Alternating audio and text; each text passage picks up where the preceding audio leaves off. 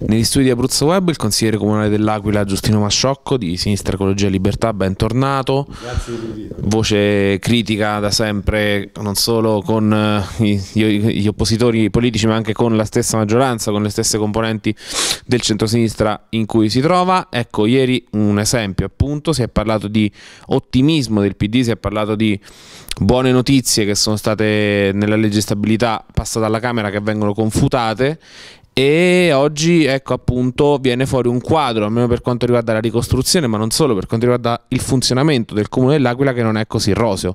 Ecco quindi questo ottimismo è ingiustificato Beh, noi, noi, di Sinistra Ecologia e Libertà vorremmo sbagliarci sull'analisi che facciamo per quanto riguarda la legge di stabilità 2015, ma purtroppo non è così.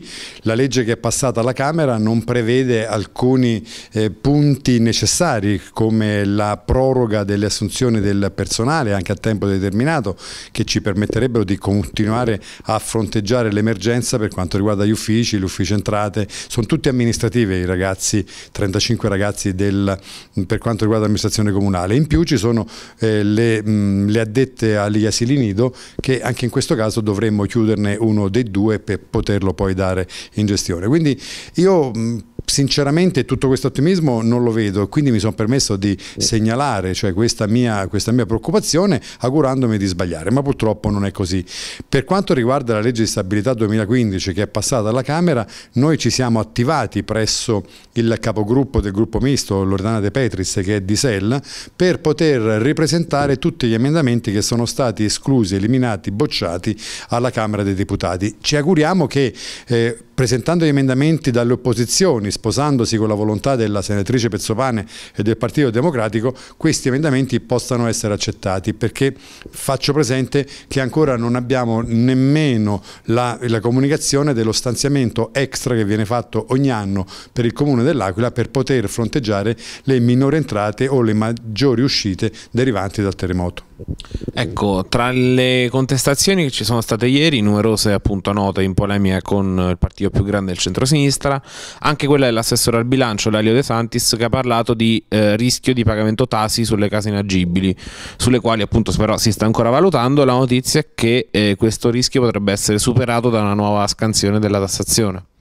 Beh, da quello che si capisce nella, eh, della legge di stabilità passata alla Camera, poi non sappiamo se il Senato la modifica o meno, eh, è, è, prevista una nuova tassi. La Tasi viene eliminata, verrà inserita una tassa unica sulla casa, resta attualmente la Tari, la cosiddetta la tassa sui rifiuti, quindi bisognerà vedere come si articola e quali saranno, eh, e quali saranno le prerogative, cioè di, le, le aliquote da applicare per per la tassa sulla casa. Principalmente il, il problema della casa inagibili nasce da una cattiva interpretazione della norma. L'inagibilità delle case all'Aquila non deriva dalla volontà del proprietario di non rendere agibili, quindi di staccare le utenze. L'inagibilità deriva dal terremoto, quindi va oltre la volontà del cittadino e del proprietario a mantenerla. Quindi io penso che in nessun caso si possa e si debba rischiare di poter applicare qualsiasi tassa un edificio inagibile. Senta, pochi giorni fa il sindaco dell'Aquila Massimo Cialente e con lui il consiglio comunale dove figura anche lei ha passato così il guado del metamandato, quindi due anni e sei mesi di, di amministrazione, secondo mandato per questa maggioranza di centrosinistra, dovendo fare un bilancio, ecco qual è il voto diciamo così per il sindaco e per la sua maggioranza? Ma più che voto potremmo dire che l'impegno in questi due anni e mezzo è stato sempre forte, sempre presente, sempre eh, con l'attenzione attenzione anche, come dicevamo, a prendere i finanziamenti per la ricostruzione. Poi di errori ce ne sono stati, gli errori sono quelli di una programmazione diciamo così non proprio puntuale e non sempre eh, chiara. Ecco questo, questo, è vero. Io mi, mh, mm, ci stiamo battendo in consiglio comunale la volontà è anche del sindaco di essere più trasparenti nella rendicontazione delle spese. Noi pensiamo che i cittadini più i cittadini conoscono e sanno come vengono spesi i propri soldi più sono in grado di giudicare l'attività e l'operato dell'amministrazione per sentito dire per le voci che si vengono messe in giro è sempre, sempre delicato, cioè, dire, non, ci, ci, sta sempre una disinformazione eh, guidata per cercare di convincere i cittadini a, a posizioni diverse. Ecco, penso che più che trasparenza, cioè portare a conoscenza delle spese dell'amministrazione comunale in maniera puntuale, pubblicando anche delle, delle desunti all'interno del sito internet, penso che si possa fare. Poi non so se altri mh, avrebbero potuto fare di più, io penso che l'impegno che ci sta mettendo il sindaco, l'impegno che ci sta mettendo questa maggioranza è il massimo. Certo, fra due anni e mezzo eh, renderemo conto ai cittadini e i cittadini potranno scegliere e potranno giudicare loro perché poi quello è il